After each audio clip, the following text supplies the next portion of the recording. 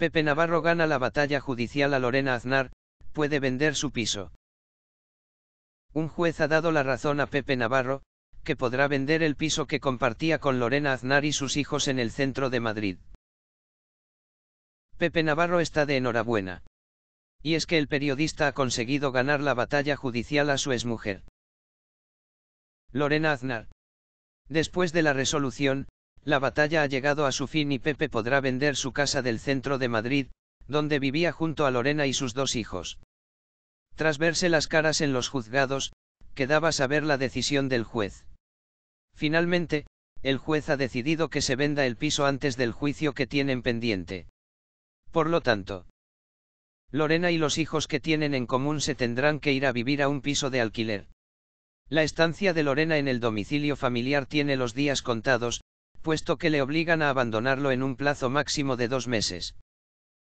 Pepe Navarro tiene claro que quiere lo mejor para sus hijos, y no va a dejarlos fuera.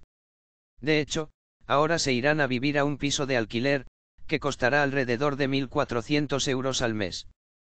El periodista se ha ofrecido a pagar parte de ese dinero de alquiler por el bien de sus hijos, que por ahora son menores de edad. Pepe Navarro volvió a ser noticia hace apenas unos meses después de que se anunciara su divorcio con Lorena Aznar en diciembre. El periodista tomó una decisión que ponía aún más tensión a la batalla judicial de su divorcio. Y es que decidió demandar a su exmujer y pretendía que tanto ella como sus hijos abandonen la casa familiar. La expareja anunció su separación el pasado mes de diciembre, y a pesar de que había sido amistosa, al final no ha sido así. El pasado 2 de marzo se tuvieron que ver en los juzgados de familia de Madrid, ya que Lorena Aznar se negaba a abandonar el domicilio en el que vivía junto a sus hijos en el centro de la capital. La razón que alegaba Pepe Navarro era que tenía una deuda que saldar con una entidad bancaria y pretendía vender la casa familiar, en la que vivieron juntos antes de la separación. Pues bien, ante esta decisión, el periodista ofrecía una alternativa a la que fuera su mujer durante 14 años, ofreció a Lorena un alquiler.